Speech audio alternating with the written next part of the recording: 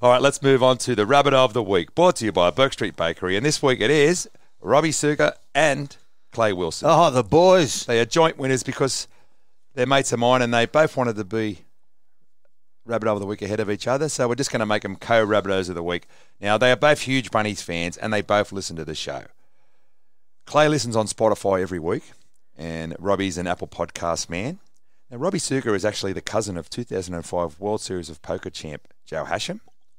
And at some stage during the off season, we plan to do a couple of special moments in sport. And if we can get hold of Joe, I reckon that'd be a good one. And if About- you haven't heard my one, go back and have a listen. go back, and have a listen. Brownie's it's a great one. story. Brownie when he rode his one and only winner at Richmond. Richmond Trots. It's a great story. We spoke to all the people involved. So yeah, Robbie was actually in Las Vegas, sitting in the crowd when his cousin Joe won the World Series of Poker. So that would be a great story. And if we can get to speak to a few people around, you know, maybe the poker brat if he was there as well, or something like that. But we'll be happy to speak to Joe. Shane Warne. Warney.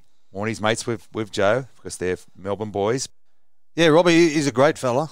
Born and bred in Redfern. Old Redfern boy. Knows all the same people that I know. The Maroons, the Tokes. So shout out to you, Robbie. Yep. Yeah, he used to tell me about stories and all the cousins and uncles and aunties all had these houses in Great Buckingham Street, and there'd be a a barbecue every Sunday at a different house, and there'd be you know little holes in the fence we could go through to each um, neighbour's house, and they used to run amok all the kids. And he said it was a great time growing up in Redfern, and everyone are crazy South fans, and none, none more than his mum. His mum's mad. She listens to Rabbitohs radio, so Cool. shout out there to Mrs. Sukkar. And also Dukes, Clay Wilson, he's a mad fan as well. He's got a young family. Mascot boy, he's living in Botany now. He saw the light. Yeah, he brought moved a- south of the border. Oh, he's a funny bloke, Clay. He is. He's a character. He's a good man. But more importantly, he listens to the show every week on Spotify, and you can listen to us on Spotify or Apple Podcasts directly from our website. There's a heap of podcast apps to choose from, but they're your big main ones. And he's one of one of Stuart Ashton's boys, one of his favourites. So Here's Ash. Yeah. I'm sure, he, I'm sure he'd be Ash.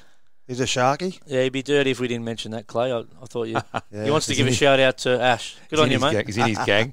Good on So- you, Clay. You're a legend, So, mate. so you two boys have won a free coffee voucher at any of the 14 Bourke Street Bakery stores. It's free coffee for a month.